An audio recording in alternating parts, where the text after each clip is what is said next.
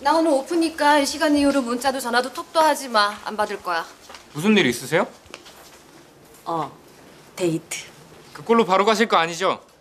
그러시는 거 아니에요!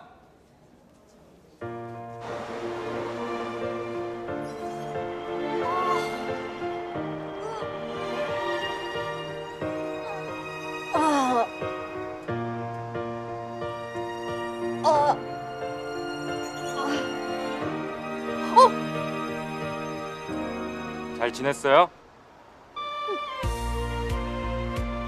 왜 벌써 왔어요? 약속 시간까지 두 시간이 남았는데 내가 잘못한 거 아니죠? 제가 많이 일찍 왔어요. 기다릴 사람이 있다는 게 생각보다 괜찮더라고요.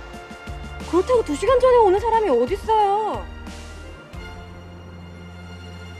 근데 왜 자꾸 눈 피해요? 자신감이 떨어져서 그래요. 나 지금 쌩얼이란 말이에요. 집에 가서 머리 감고 옷 갈아입고 나오려 그랬죠. 이미 아름다우신데? 그래요? 왜지? 내면이 아름다워 그런가? 샤워만 하면 씻지 말까요? 타요. 태워줄게요.